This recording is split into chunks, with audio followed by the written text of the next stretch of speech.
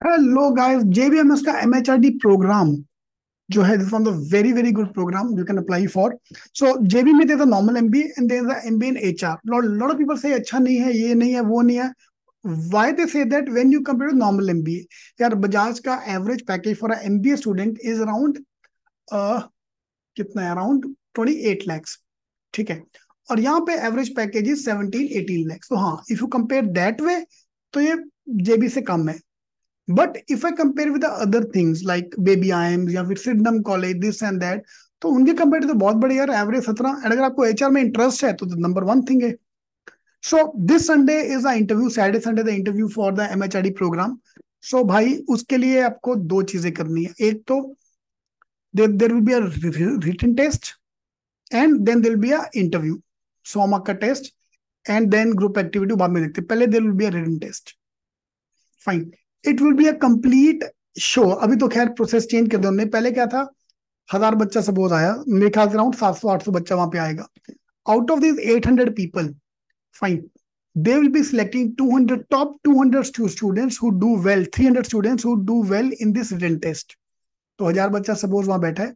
हज़ार में से 700 बच्चे को they will say bye bye you are not selected please go 100 people left 300 people left उनमें से then they'll be group activity person interview and essay writing hundred mark का paper so उनमें से फिर कुछ और बच्चों को भेज दिया जाएगा। देन फाइनली जो बचेंगे, उनका सिलेक्शन हो गया। This was the process earlier we actually sound like a Roadies का show rejected, selected. But now with time, they've improved the process, this and that.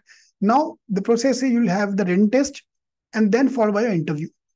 तो आपको दो चीज़ें करनी है। रिटर्न टेस्ट में इफ़ यू सी है lot of questions are based on HR तो अगर आप एचआर के बारे में जितना पढ़ सकते हो, पढ़ के जाओ। दो जो ज्वाइनर्स फॉर द प्रोग्राम हमने आपको पीडीएफ दिया है, वो पीडीएफ प्लीज़ करके जाना, क्योंकि ह्यूमन बिहेवियर एस्पेक्ट्स और आपके लॉगिन आईडी में there five mocks on this topic if you join us for the MHRD program वो पाँचों मॉक देके जाओ। क्योंकि रिटर्न टेस्ट में निकलेगा तो आगे जाके कोई फ़ायदा नहीं number one number two things interview के लिए आपको दो चीज़ें तैयारी करनी है, बस। So number one G H के बारे में पढ़ना है because this thing number two from the interview point of view group activity तुम संभाल लोगे, वैट तुम संभाल लोगे। Group activity mostly be case study या now when come to the written ability person interview they go to ask you only two question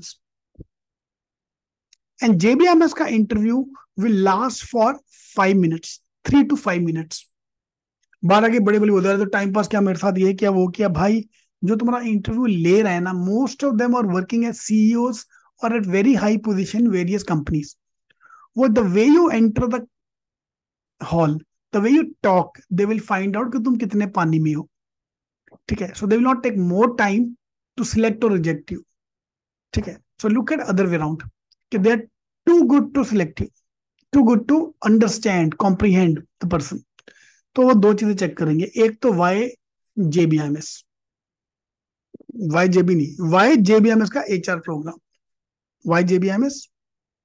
Number two question is why H ये दो answer तैयार कर लो बस।